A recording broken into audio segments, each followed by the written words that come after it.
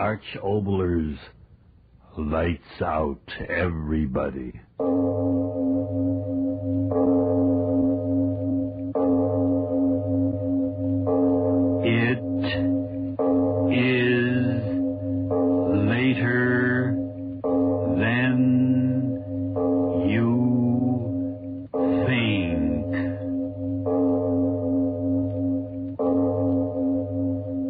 This is Arch Oboler bringing you another in our series of stories of the unusual. And once again, we caution you these lights out stories are definitely not for the timid soul. So we tell you calmly and very sincerely if you frighten easily, turn off your radio now. Uh, it is a nice day. yes, I agree with you, Mr. Sparrow.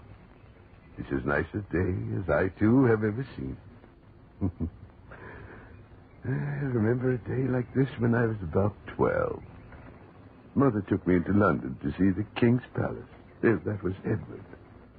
And I had on a green suit and I... but that wouldn't interest you now, would it, Mr. Sparrow? Funny, I never went back. Less than a hundred miles away, and I... Morning, Mr. Eh? Jeffrey. Uh, oh, good morning, Mr. Elton. Here, Mr. Jeffrey. Oh, kind of late in the season to be planting now, ain't it? Oh, I, I wouldn't exactly say that, Mr. Elkington. Not for what I'm planting. Now, what would that be, might I be asking? A tree, my friend. Oh. A nice, strong catalpa tree. My son sent it to me all the way from Exeter. You don't say catalpa tree. Well, now. I say, could I be giving you a hand with that shovel, Mr. Jeffrey? no, no, no, thank you kindly. I like to dig in the soil, and the exercise does me good. Thank you kindly. Oh, well, then I'll be off on my business, Mr. Jeffrey. Good morning to you. Good morning, Mr. Elkington. Good morning. Hmm. Well, it is a good morning. Yeah. The rain certainly softened you up, didn't they, Mr. Ground? Nice and soft. Nice and soft. Going to dig you a nice deep hole, Mr. Catalpa. Yeah. Nice deep hole so that your roots will have a good firm start in life. Yes, indeed. Yeah. Well, that's not the way to act, Mr. Ground, throwing big boulders in the way of my shovel. Hmm. Mighty big stone, too, from the sound of it. Dig you up, Mr. Boulder? It takes me a week, yes, indeed.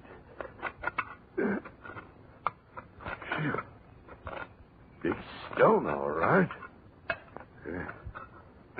Keep after it, that's all. Buried all these years in the corner of my garden, and I never knew about you now, did I? There. There, that's showing results. Hmm. Yeah. Like an oblong. That's queer. Big flat oblong stone in my garden. Dig you up. That's what I'll do. Dig you up. Yes, indeed. Oh, Mrs. Gracie. Mrs. Gracie. Yes, what is it? Mrs. Gracie, come out here. You've got to come out. All right, all right. Now, what in creation is it, Mr. Jeffrey? Mrs. Gracie, look. Look. Land sakes alive. What kind of a hole for a tree is that? Mm-hmm. Don't see why in the world. Look, I tell you. Is it? Is it a coffin? Coffin? That size and out of stone? Then what would a coffin be doing in my garden? I never heard of anyone being buried here. It's much too big. Mr. Mrs. Gracie, I got it. What? Roman. The Romans left it here. Romans? Don't you understand? The Romans, the Romans invaded and lived in Britain over 1,500 years ago. They left it here. Nobody like that lived round here, and don't you tell me anything different, Mr. Jeffrey. But I am telling you, a Roman sarcophagus. Now, Mr. Jeffrey. Oh, never mind. Mr. Robinson, uh, run over and get Mr. Robinson here. Tell him to bring a couple of men. We've got to dig this thing up. We've got to dig it up. Mr. Jeffrey, it's the sun that struck your head. Now, don't stand there lecturing me. Mr. Robinson, hurry, get him. No, no, I won't. What? Not to You- dig it up, I won't. To bury it deeper, yes, but not to dig it up. This is- Coffin or one of them heathen, whatever you call it, it makes no difference. If it's been buried here all these years, then I say cover it over and let it be. There's some things best left deep under the ground.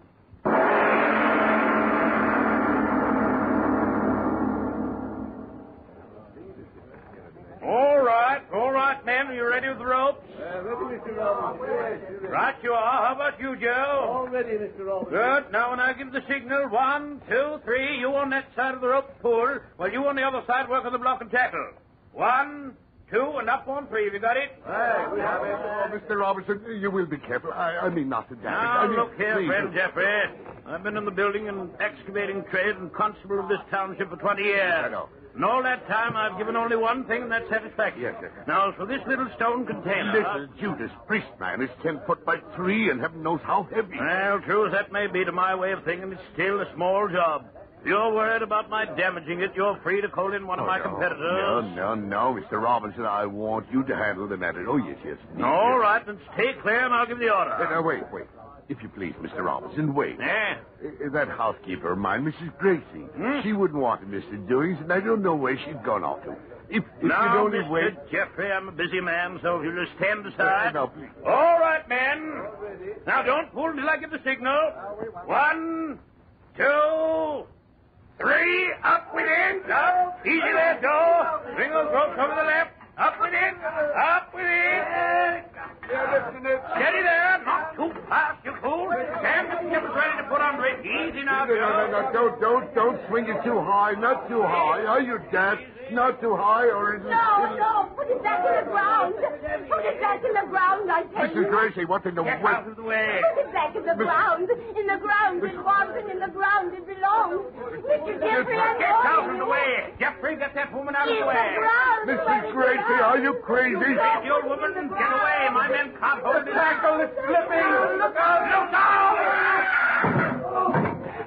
Get on those. Get on those ropes. Lift, lift. Hurry now. Hurry. Get over here. Mother in heaven. It fell right on top of her. Coffin fell right on top of her. Oh, Mrs. Gracie.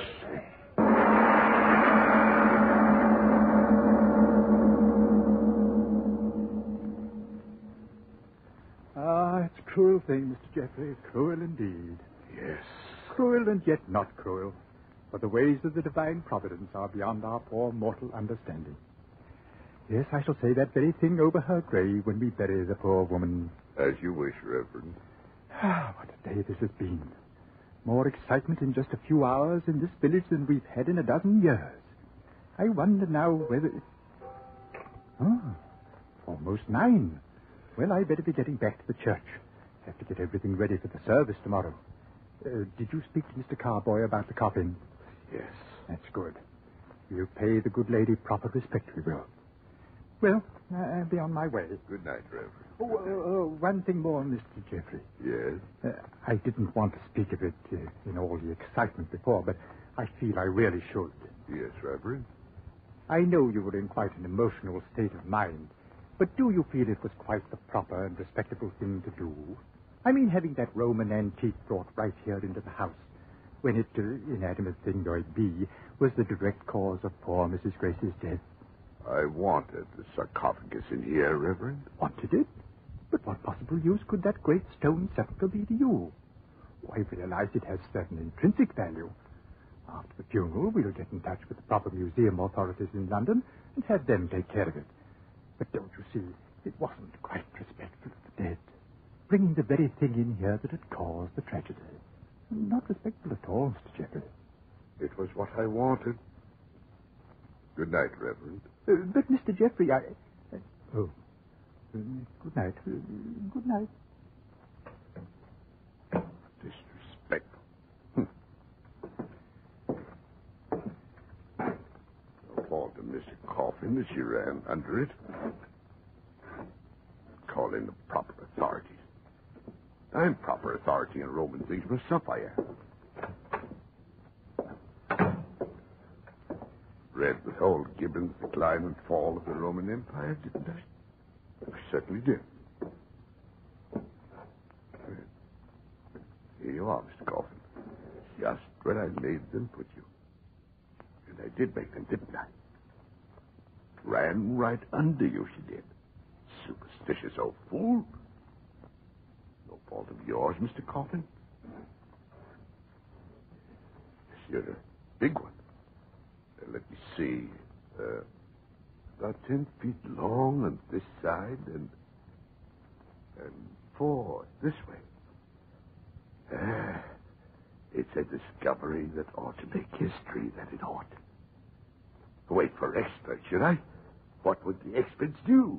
Cart you off to one of those museums, and there I'd be, the man that found you, with nothing but a hole in my garden and a new grave in the cemetery to show what had happened. No. No. Oh, I'd be my own expert, Mr. Coffin. I'd open you up myself right now. And I'd take the blame or credit and no mistake about it. There's that iron bar. Mr. Robinson will wonder where his crowbar went. Now, won't he, Mr. Coffin? But we'll give it back to him in the morning. Yes, indeed. Yes.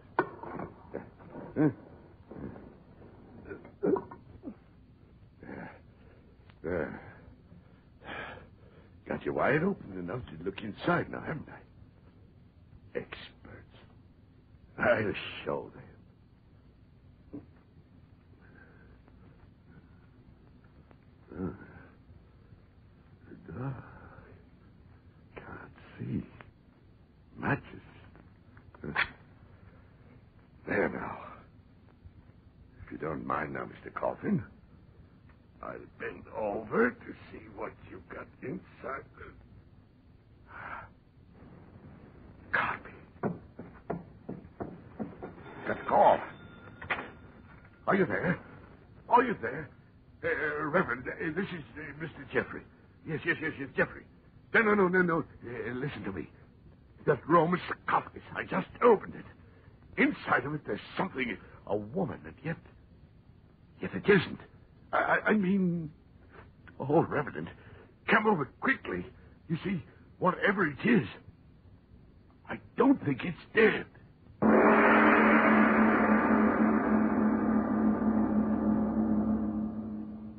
My dear. Jeffrey, you must listen to me. I'm a person of understanding, of judgment. I say leave it alone. Don't go near the thing until they get here. Now, I phoned Dr. Thompson at the British uh, Museum. He's an expert, a qualified expert. Expert. There you go, experting again. Now, now, now, now you shove on that side, and I'll pull on with this. Yes. There, there. That- That ought to fetch the lid off. It's all against my better judgment. All right, all right. Off with it. There she goes. An- another shove. Now, open. We've got it open. Reverend, look. Look at her head. Why, what, what in Satan's name is it? Lion's head. That's it, a lion's head. And, and the body of a woman. And alive. She is alive. Don't be a fool. It's a heathen idol, stone. No, no, it's living skin. I'll touch it. I'll prove it. Ah. It is stone. And A blasphemous heathen thing. We'll cover it up, and in the morning I'll have it buried again. No, no, no. No, you won't. It's mine. Found it on my property. Oh, heaven forgive you. The blood of your poor housekeeper still staining it. Staining it, what are you talking about? Mrs. Grace's blood. See, it's still on it. But. But the outside of the coffin fell on her.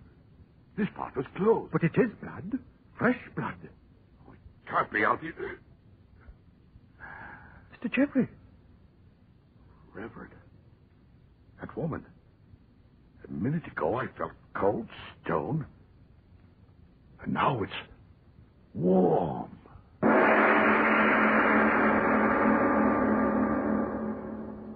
Constable, constable, can't you walk any faster? Oh, it'll wait, Reverend. Whatever it is, it'll wait. But I tell you, he acted like a madman. Practically threw me out of the house bodily because I persisted. Now, in- wait a minute, Reverend. Begging your pardon, wait a minute.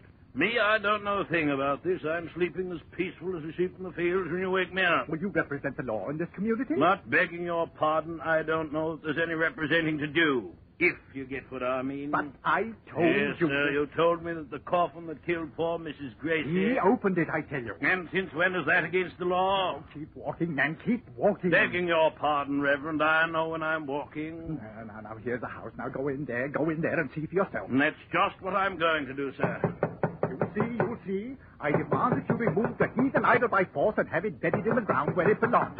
I demand that you... Hold it, sir. Well, it's me, Mr. Jeffrey. I didn't send for you. I brought him here. Oh, it's you, is it? And now, Mr. Jeffrey, I feel it my duty. Uh, to the begging your pardon, Reverend. As long as you got me out of bed, let me do the talking, if you well, don't mind, well, sir. now, Mr. Jeffrey, I'd like a bit of an explanation. Explanation, my grandmother. Constable.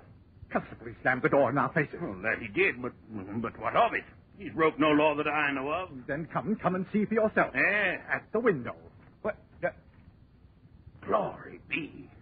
I see the thing now. It, it, it can't be alive. I don't know, I don't know.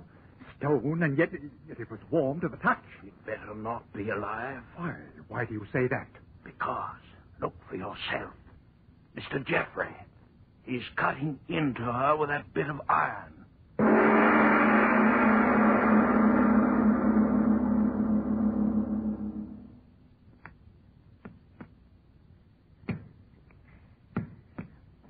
Oh, it was good of you to come in and help me, Mr. Elton. Uh, I'm right glad to be of service, I am. I'm glad to be of service, but this is devilish hard rock. Yes, yes, it is.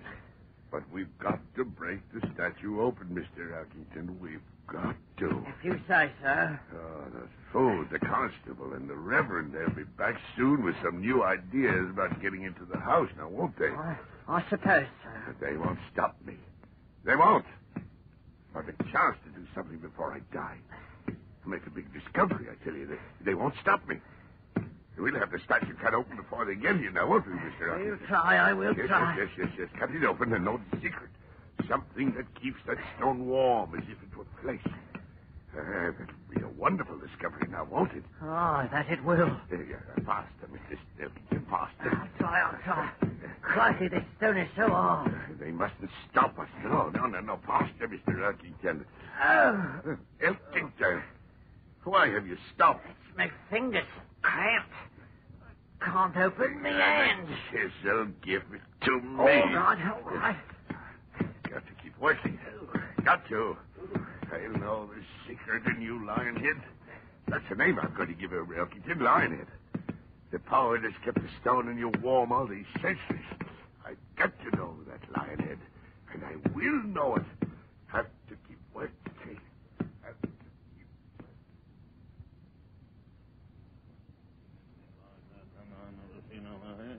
Now, Reverend, Reverend, you can drive a man too far. I tell you. No, the- Constable, now we'll tell you. Uh, uh, For uh. 24 hours, you've been telling the people of this community that the law won't permit you to do this and the law won't permit you to do that. Well, it won't. But we tell you we won't stand by and permit one of our citizens to indulge in heathen madness and not do something about it. Am I right, gentlemen?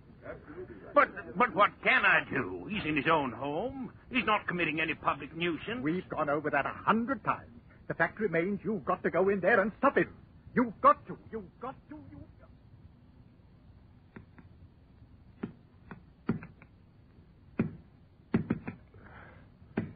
the hardest stone in the world. They made you uh, yes. Mr. Jeffrey, I'm asking you, please stop cutting into it. Please. of the warmth before any of the others know about it. Or they stop. Hark! What's that? Got to keep working. That sound, Mr. Jeffrey, what is it? I Can't talk to you, Mr. Elkington. Important work. But, uh, Mr. Jeffrey, the chisel, why did you drop it? My hand. Like an electric current running through the chisel. Oh, no. No, no, just, just a weariness in my muscles. Uh, pick up the chisel. Yes. Go on. I, I, Yes. I, I think I'm going now, no, Mr. no, Jeffrey. no, you I- stay where you are. You stay there till you stay there. If I lock the door for you, they will come in. And I won't let them in before I learn the secret, you hear me? That sound, Mr. Jeffrey, it's like something burning. You hear? It's been getting louder and louder. Well, stop. I've got to find the secret of that warmth. Fifteen centuries of warmth. Mr. Jeffrey, it's the constable. I don't care. I don't care. Open up! Open up, Mr. Jeffrey! Well, you, you won't stop me, you meddling fool. Open up, Mr. Jeffrey, in the name of the law. We've got a warrant this time, good and proper. Warrant? Oh, no, no. Oh, Mr. Warrant. Jeffrey, you ought to really... No, no, no, no, no, no. I, I, I'm almost finished. Go away. Go away. We've got Professor Thompson from the museum. Mr. Jeffrey, I warn you. No, no, Open no. up or we'll break Yeah. down the door. Mr. Jeffrey, I no, beg no, of no, you, no, please. no, no, they won't stop me. But I'm almost through. I tell you, I'm frightened, I almost am. broken through to the middle of my statue. no. I'll find out the secret, and no one else. There, my the breaking through. Ah, it's, it's, it's hollow. It's breaking through. Ah, in a second, I know. In a second, I. Oh. Somebody else! Mr. Jeffrey, what Mr. Jeffrey, he's on fire! He's on fire!